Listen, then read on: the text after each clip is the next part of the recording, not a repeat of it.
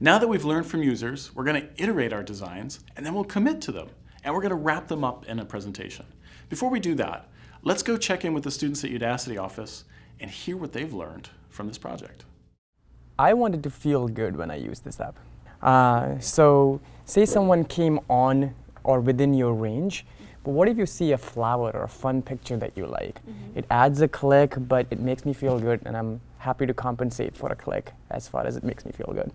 So you click on that, and then it shows you the map uh, and shows you the person that you're most likely to barter with or exchange or transact with, and gives a little profile of who they are and uh, what they're wanting to offer.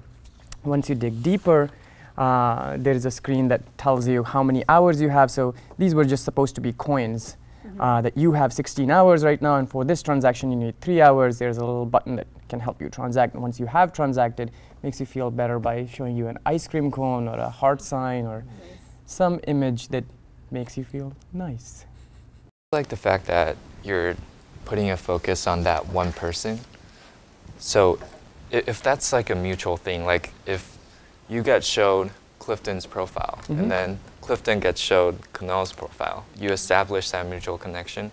It's much more kind of deep and meaningful than just seeing like a list, right? And you pick from that list.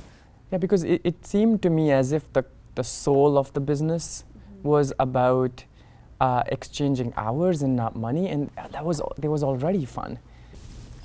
I like the flower idea. I would have taken that from you if it, you don't already have it on camera that you thought of it. You should take it.